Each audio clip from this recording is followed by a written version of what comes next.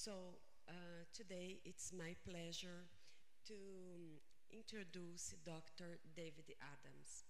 Um, I ask you uh, apologies, but I have to, to read uh, a little biography of him because he deserves.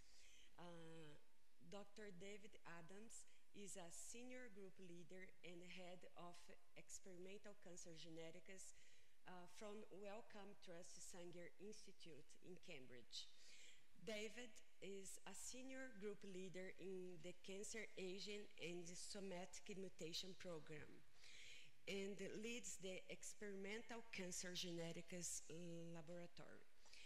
He is a head of the Cambridge Cancer Center Cell and Molecular Biology Program also, as well. He has a PhD and a Doctor of Science from University of Sydney, Australia. He is also a fellow of Academy of Medical Science and the Royal College of Pathologists. And yesterday, I'm very glad to inform you that he was elected to be a member of EMBO, the European Molecular Biology Organization.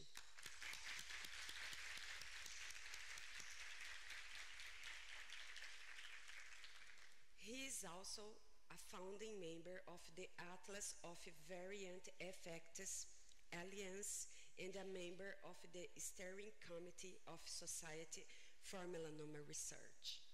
His group uses large-scale genomic studies and genome editing to identify cancer genes and explore their function. Dave is a co uh, head of the Sanger Excellent Programs for Black British scientists and is involved in advocacy efforts for cancer genetic studies in uh, Cambridge, particularly with Latin American countries, work uh, which is funded by the Royal Society. In personal aspects, uh, Dave is also a keen distance runner. he, he has running half marathons, a consumer of copious quantities of coffee, and a failed vegetarian. I would like to say that uh, for the final, that he is also a fantastic collaborator with a huge sense of inclusion, especially with us, the Brazilian uh, people that work with melanoma.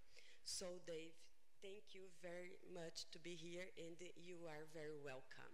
Thank you. So thanks very much for that very generous uh, invitation.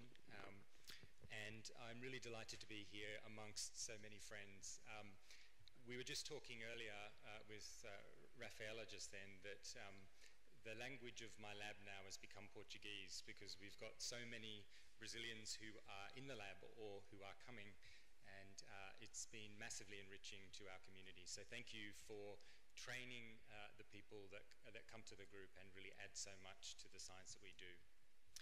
Um, what I'm going to talk to you about today is genome editing, and I'm going to talk in the context of cancer, but the work that I'm going to talk about is relevant if you're interested in cardiovascular disease or Alzheimer's disease or uh, any other area of biology, because it's sort of a talk around the technology and the tools that can be used. So in the talk, I'm going to discuss different types of variants. I'm going to talk about benign variants, for example. These are the ones that we all carry within our genomes, and these essentially do nothing. I'm going to talk about pathogenic variants. These are the ones that cause disease. And more importantly, I'm going to discuss variation such as what we call variants of uncertain significance. So these are all variants that everybody in this room carries, but we don't actually know what they do. And these are the ones that, in terms of clinical management of patients, these are the ones that represent the major challenge in terms of working out someone's disease risk. So before I do that, I wanted to set the scene for what I'm going to say. I want you to imagine the scenario that you're working as a doctor, you're sitting in your, your doctor's rooms, and into the office walks this young lady on the right hand side, and she's very clearly undergoing treatment for cancer. She brings with her her daughter, uh, shown on the left, and she's got one question for you. That one question is what is the risk that her daughter will develop the same type of cancer that she has in her lifetime?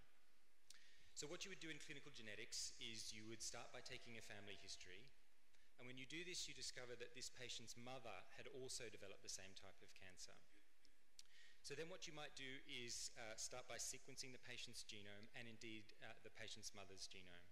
And when you do this, what you would likely discover is that there are no disease-causing variants in the known cancer predisposition genes, but many of these variants of uncertain significance.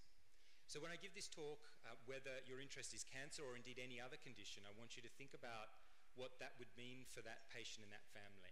And uh, really, this is the motivation behind the sorts of tools and technologies that we've been developing. So the cost of sequencing of genomes has decreased. When I started at the Sanger Institute 20 years ago, um, it was a, a massive effort involving hundreds of people to sequence one genome. Now, on some of the new sequencing machines for around a thousand US dollars, we can sequence a genome in the space of a couple of days. But just as this cost has decreased precipitously, as you can see shown here, the number of these variants of uncertain significance have increased dramatically. And this goes back to the challenge that I mentioned to you about how you tell patients what their disease risk is and how you manage them accordingly. So I'm showing you this structure here um, I'm in a room full of cell biologists, cell and molecular biologists, and I want you to imagine that this is your favorite protein. So the question that I would ask you to ask yourself is, when you think about your favorite gene or protein, do you know what all of the variants within that gene or protein do? Um, do you know what the inherited polymorphisms do? And indeed, if you wanted to inhibit that gene or protein, where would you place a small molecule? So these are real questions that we face as scientists, uh, and particularly in the context of drug development. So in an attempt to try and address some of these questions, what we've been doing is developing assays, and these are called multiplex assays of variant effect. And the basic principle of this technology is that you can take a piece of DNA, for example, this is a, a region of an exon, and you can walk your way across that region, and you can change every single nucleotide to every single other nucleotide, or every amino acid to every other amino acid. And then what you can do is you can phenotype the effect of these alterations on the cell. So this can be a range of different phenotypes as I'll describe. So generally what we do is we start with a large population of cells, millions and millions and millions of cells, and to each of those individual cells within that population, we introduce a single genetic alteration. And so then what we can do is read out cellular phenotype by looking at cell growth, looking at the expression of a marker, for example, looking at the expression of a fluorescent uh, protein, we can look at molecular properties or we can use a single cell readout. So this could be sing a single cell sequencing readout, for example, like a molecular barcode. And this gives us the opportunity to not ask the question about a single variant, but to ask a question about every single possible variant within that gene, and then to build what we call variant effect maps. So we're in the era of genetics and genomics, but this is really the era now of defining the function of the genome at nucleotide resolution. So there are three major ways you can do this. One way to do it is by using base editing, where you drag a protein that edits the genome to a particular site that you wanted to study. This is efficient, but it's not uh, particularly targetable. You can use prime editing, which, is, uh, which can be more specific but has very low editing rates. But because we're interested in understanding the function of every possible alteration within a gene, we use a method which is called saturation genome editing. So if you imagine this is your favorite gene shown at the top here, um, you can see that the exons are indicated by the triangles. And so the way that saturation genome editing works is that you can uh, cut the gene with, for example, CRISPR at a site that you can see shown here. This generates a double strand break within the gene, and then into those sites, that site where you've cut, you can introduce a library of double-stranded DNA. And this is double-stranded DNA that we've designed on the computer and we've synthesized in the lab. So every possible alteration is found within this library. So in this way, what you can then do is phenotype that population of millions and millions of cells. If you do that at an early time point, say day four, and then you would grow the cells on say to day 21, you could then use DNA sequencing to explore the representation of those different variants within those populations before and after. So I've said uh, by using sequencing, using growth, but you could look at any particular molecular phenotype that interests you. So generally what we do is we use cell fitness. And by cell fitness I mean the survival, the death, the growth of the cells. But in principle, any particular molecular phenotype that you could read out as a cell biologist could be analysed in this way. So I had a bit of a walk around the posters that were out there uh, a few minutes ago, and I could see that there were some posters that were talking about uh, looking at cell lineages, cell states, also uh, transcriptome function, expression of proteins. So all of these could be read out in this kind of an assay. So um, those of you who are sort of thinking about how this might work uh, mechanically in terms of how you might do it in, in the lab are probably thinking, well, you can edit a genome, that's all well and good, but our genome is wonderfully designed to have a spare copy. So our genome is diploid, which means that if we were to edit one of the chromosomes, there'd be a spare copy to, give a, to, to essentially rescue the phenotype. So to perform these editing experiments, we use a very special cell line which is called HAP1 cells. And these are cells which have lost one copy of uh, their genome. And in this way, when we edit into the genome, essentially the phenotypic effect of the variant that we introduce is read out as if it was a homozygous mutation. So my question, my research question is understanding uh, why some individuals within the population are more likely to develop cancer than others. And there are around 114 different genes that predispose to cancer risk. Um, these are involved in predisposition to breast cancer, skin cancer, lung cancer, kidney cancer, and so on. But they represent an enormous burden of disease within our populations. In the same way that the diseases that you guys study uh, play an important role in influencing the outcome of our family members and other individuals. So the first gene that I'm going to talk to you about is a gene called BAP1, also known as the BRCA-associated protein 1. Uh, so this is a gene that, when it's mutated in your germline, is associated with the development of uveal melanoma, so melanoma of the eye, melanoma of the skin, uh, meningioma, so a, a, malignancy of the lining of the brain, and also a, a cancer of the bile duct called cholangiocarcinoma. So families that carry these variants generally look like this You can see that throughout this pedigree um, from this particular family, you can see that there is malignancy spread throughout the, the entire pedigree. And this is due to predisposition associated with the germline inherited BAP1 variant. Intriguingly, the other thing that this gene is involved in is a neurodevelopmental disorder. And these uh, uh, wonderful children here are carrying a germline inherited variant within this BAP1 gene. And it's not really understood why some individuals will develop cancer and others uh, carrying the same variant, in fact, will develop the neurodevelopmental disorder. So this is one of the big questions in the field. So I'm a geneticist. You guys are the smart people in the room. You're the cell, cell and molecular biologists. So this is my view about what BAP1 actually does. So uh, ubiquitin eats proteins. Um, even a geneticist can understand that. Um, and what BAP1 does is to essentially function by stripping or knocking uh, these ubiquitin molecules uh, off proteins. And downstream of that, there's a range of different biological processes. So the cell biologists can look at that, which is the uh, textbook example of what um, uh, BAP1 does. But geneticists would look at this, which is uh, the ChatGPT version. and basically, it tells us the story that uh, BAP1 is involved in apoptosis, cell cycle regulation, and also plays a role in cell growth, in addition to regulating differentiation and chromatin. So literally everything you could imagine this, uh, this protein is involved in.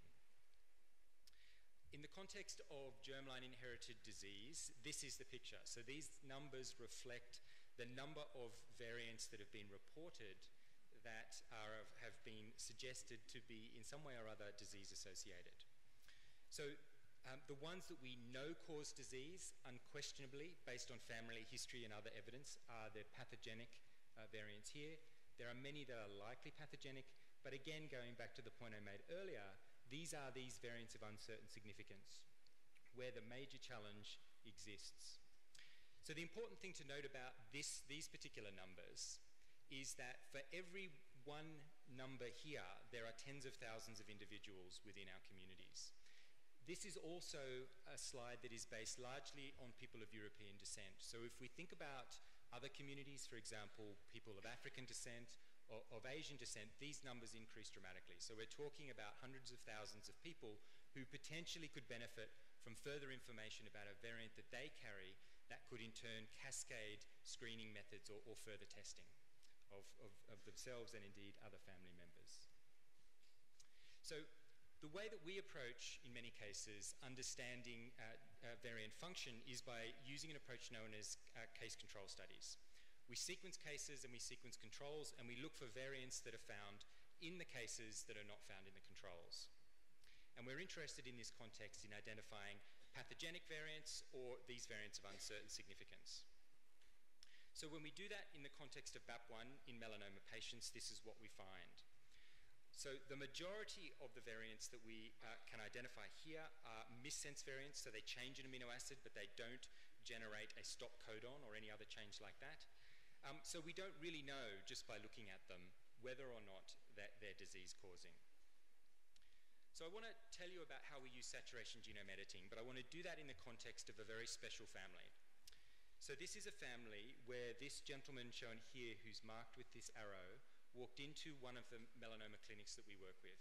And he had two melanomas at the age of 66 and also a basal cell carcinoma.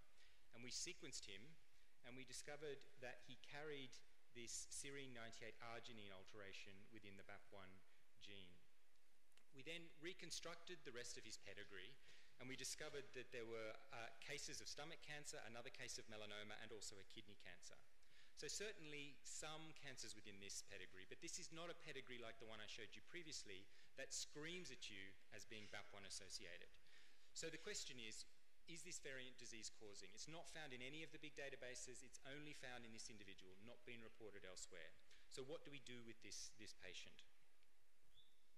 So this is uh, the BAP1 protein, and the actual amino acid that I mentioned, the serine 98 arginine, is found right in the middle of the catalytic core. So this is uh, the sort of mouth region of that Pac-Man that I showed you previously. So where you would predict that it could play a role in removing ubiquitin.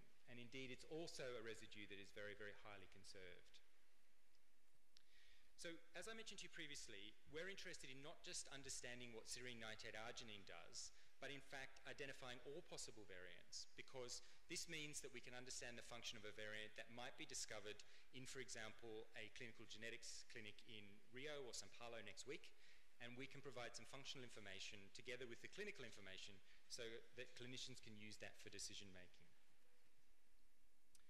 So for BAP1, what we used was cell death because, as I mentioned to you previously, when you disrupt BAP1, cells will die. And this is essentially what you can see in this slide shown here. When you, whoops, when you disrupt a, uh, a uh, region of the, the, genome, so HPRT, that is not essential, uh, these cells will initially decrease their growth but will uh, catch up. Whereas when we disrupt BAP1, these cells will die. And basically this means that if we complement these cells with a small piece of DNA, we can sort them, sort the variants into those that are disruptive and those that are non-disruptive. And we can do this within large populations of cells. And so this is the results of doing this across around uh, 8,000 different variants across the BAP1 gene. So you can orientate yourself. This is uh, in this direction, the variants that are found uh, in, on this side, so towards the, the left of the slide, are ones that are um, more disruptive, and these ones here are variants that don't appear to affect function. So a change that changes a nucleotide but not an amino acid has little effect, whereas a stop codon has a large effect on function. And then you can look down the list here and you can see uh, that there are some interesting biology. For example, some synonymous variants that change a nucleotide and somehow disrupt the function of the gene. In some cases, this is due to effects on splicing. In other cases, we have no idea. So this illuminates potentially new biology that we can explore. For example, effects on things like RNA folding. We also identify uh, um, variants as well that are, for example, stop codons that aren't depleted. They should be. Why aren't they depleted? Why isn't nonsense-mediated decay functioning? And in the same way, we can see the same effect for other variants like uh, frame shifts and splice donors as well.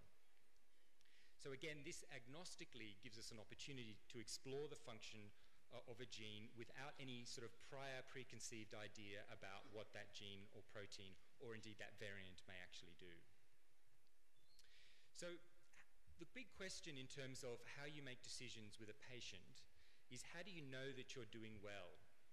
We can generate a data set and then the clinicians can say, well, yeah, but what about, um, what's your ability to predict the, the functional effect of any given variant that we might give you? And so to explore this, we can use what we call truth sets. So these are patients that we know carry a disease-causing variant, because we've seen many families with it, and patients who we know carry benign variants. And so using this sort of analysis, we can generate what we call ROC curves, which can give us an idea about our, our true false positive rate and our true false negative rate. Okay, so when we do this with BAP1, using that truth set, this is essentially the curve that we see we have almost complete predictive power to determine whether a variant that is found within the gene is likely to cause disease in an individual who carries it. And so what then this allows us to do is to go back to all of the data that's available on all of those patients that have previously been identified to carry variants of uncertain significance and to then ask questions about whether the variants that they carry are disease causing or not. For example, uh, what you can see here in orange is uh, these variants of uncertain significance. In blue, these are variants that we know are disease-causing. So this group of variants that you can see shown here, these are, are um, the orange variants are variants of uncertain significance that are behaving like variants that we know are disease-causing. And therefore, we can use this information as uh, part of making decisions about how patients are managed. We can also use this information to explore large-scale associations. For example, we can use um, phenotyping uh, data collections like a, a, a, phenotyping experiment on around half a million individuals called UK Biobank to associate specific variants with, for example, cancer risk or indeed other traits, for example, circulating uh, chemokines or cytokines. And so uh, one of the really interesting things that we observed when we performed this sort of analysis is that, uh, to our surprise, patients who have inherited germline variants that disrupt BAP, BAP1 um, have an increase in the level of IGF, the insulin-like growth factor, circulating in their bloodstream. So the reason why this is interesting is because um, I mentioned to you previously that germline variants, inherited variants in BAP1, are associated with predisposition to tumours and also this neurocognitive abnormality, anomaly um, that is found within these children. Intriguingly, IGF is well known to play a role in cancer growth. This is a, a pathway that will be known to many of the biologists in the audience, um, where IGF plays a key role in downstream signaling regulating cell proliferation. And in fact, we know that if we grow, for example, melanoma cells in the presence of IGF, that they will proliferate. Um, so this might be a mechanism by which disruption of BAP1 is contributing to these malignancies. In the same way, we also know that IGF plays a very important role in the brain. It regulates neuronal survival, it regulates astrocytes and also microglia. So possibly the reason why we, we see these two different phenotypes is because of an effect of BAP1 on IGF. And this means that these saturation genome editing experiments can allow us to explore these kinds of hypotheses uh, agnostically by using the data that we generate uh, from these screens. Maps, as I've mentioned to you previously, where we can look at the different domains and structures and amino acids, and we can look at their effect on the protein. We can find residues that we wouldn't have predicted were involved in function. For example, these are alpha fold structures on the right-hand side, and we can go down to single nucleotides, single variants, and determine what those changes that we introduce actually do in terms of protein function. We release these maps so they're available on the web so that people can explore their favorite gene with uh, their favorite variant as well. This is, for example, nucleotide res resolution maps and amino acid level maps as well. So just coming back to this family that I mentioned to you previously with this gentleman who had this uh, two cases of melanoma and carried this serine 98 arginine variant.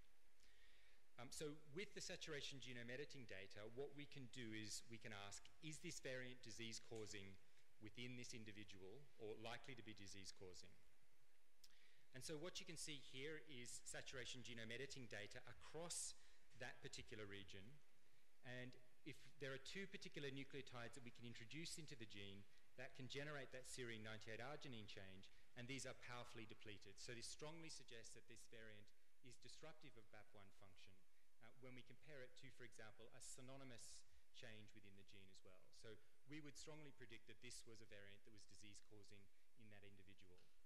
And we can further confirm this by, uh, by performing biochemical assays like the one which is shown here, which shows that there's a disruption in the ability of BAP1 to deubiquitinate, so strip that ubiquitin off those other proteins.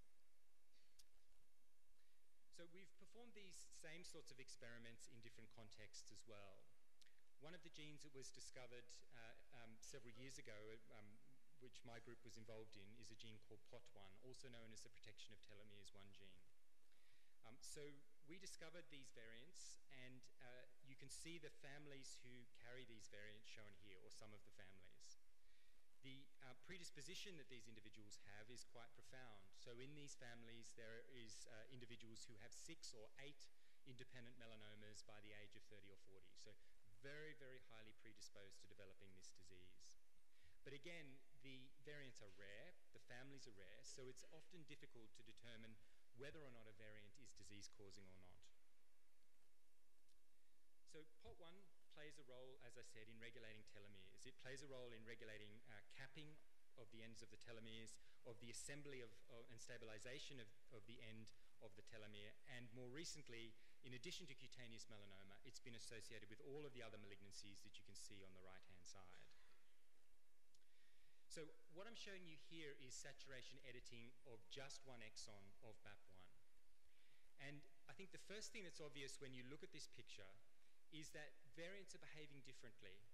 So if we look at the purple triangles, these are the missense variants where there's been a change in amino acid but no stop codon, for example. And you can see that these are a little bit depleted if we consider the strength of depletion is going down the, the y-axis whereas the stop codons, which are shown in, um, in green, and the frame shifts uh, shown in orange, are much further down the graph. There are different behaviors that are going on, which is not really what we would expect. Why isn't it that there are variants that do one thing or the other? And in fact, if we look at where the known disease-causing variants within uh, POT1 fall, they tend to be shown and, and fall here. So they're variants that don't completely disrupt the function of the gene. They appear to have some sort of hypermorphic effect on function. And again, we can read this out by using saturation genome editing based approaches.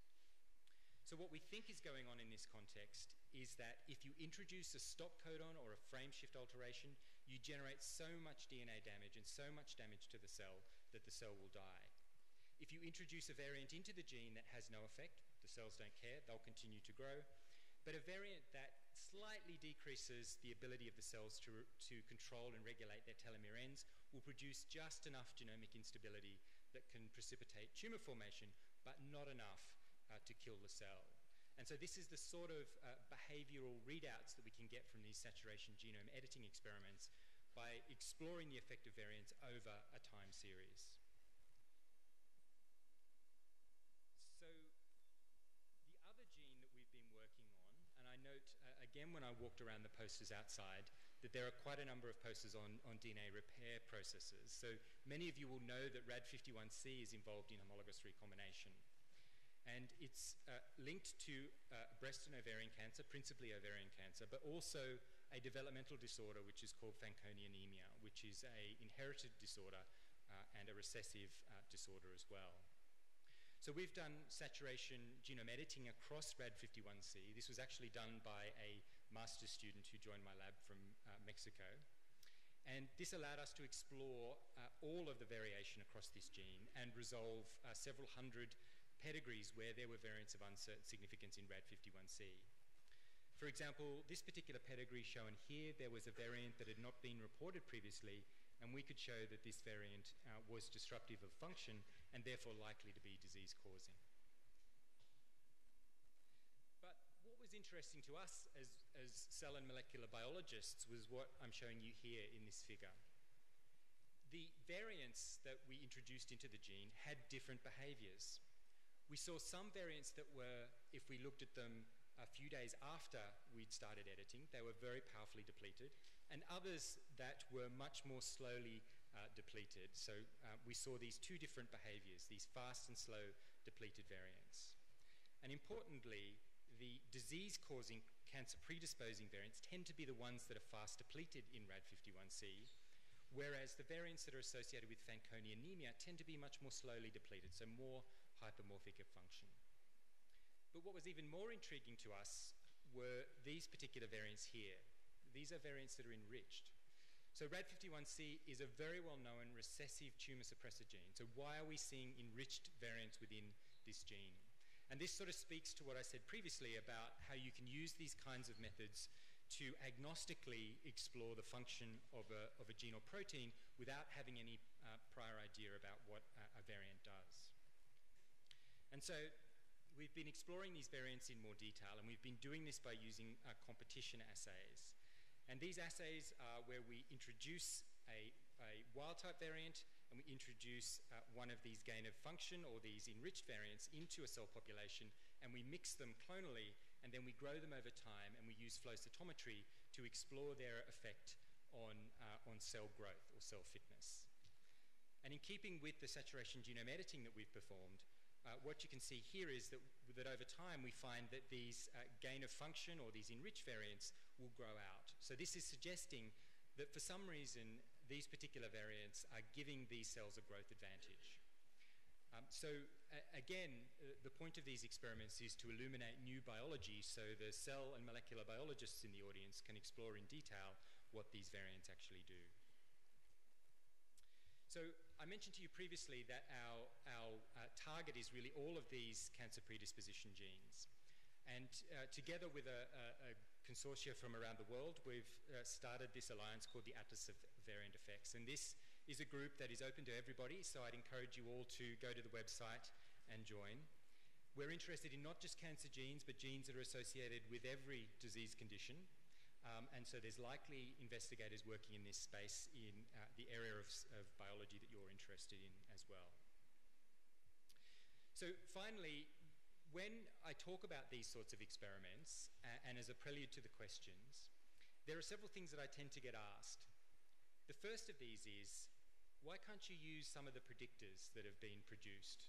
Um, for example, uh, Google have uh, generated a, a, algorithm recently, uh, Alpha Missense, which can predict the function of variants, and there's also SIFT and Polyphen.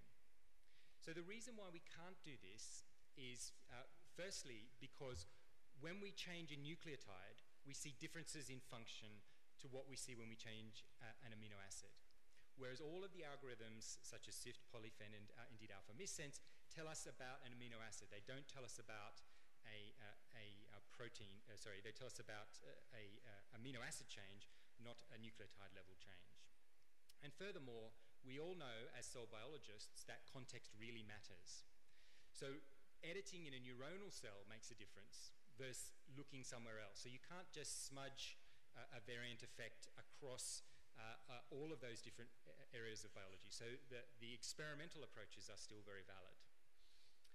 Um, so uh, we've used HAP1 cells for many of our experiments, but indeed we're also performing experiments now uh, in iPS cells, which are allowing us to work in each of the different cell lineages that you could imagine. We're also uh, using the data that we've uh, been generating to deploy it clinically, and we're working out exactly how we can combine this information with other streams of information, such as uh, tumor type and, and, other patient characteristics. So finally, and uh, sort of trying to touch upon all the different areas of biology that we're interested in, what I've described to you so far is really work we've been doing in exploring cell-fitness, so life, death, uh, very binary readouts that people like me as geneticists can understand. But as you guys know, biology is much richer and colorful than that. Uh, so what we've been trying to do is to develop methods that we can get a single cell digital readout of variant function. And so this uh, is a method that we've developed where we can edit the genome at a single position And in addition to genotyping the cell for the editing change that we've generated, we can also generate a single cell transcriptome of each of those cells. So we can couple the variant effect together with the transcriptome change as well. So the first gene that we did this on was a gene called uh, NRF2, which is a transcription factor. It's associated with a, a range of different biology. Uh, importantly, it's mutated in cancer, involved in lung cancer and liver cancer and so on. The variants that have been described within this gene tend to cluster in this uh, N-terminal region of the protein. Um, some of them are known to have a biological effect, but in many cases we really don't know which of those variants um, influence the function of the gene. So what we've been able to do is to use this approach where we can edit the genome, introduce a single variant, and then generate a transcriptome from those single cells. And this has uh, allowed us to uh, generate data where we have variants that appear to downregulate or be a, a, a transcriptional program that downregulates targets of, of NRF2. And we have another program which uh, appears to be associated with uh, downstream upregulation of a range of different pathways. And so the upregulated pathways are the ones that are cancer associated, and the downregulated ones are doing something completely different. So again, this is sort of uh, using these kind of editing techniques to try and identify new areas of biology that we can then explore at scale using uh, various different model systems. So I wanted to close there, and I wanted to thank you guys for your attention, but I also wanted to thank uh, the people who've done all of the work the individuals who are, who are shown here. And uh, thank you so much for welcoming me into this community. Thank you.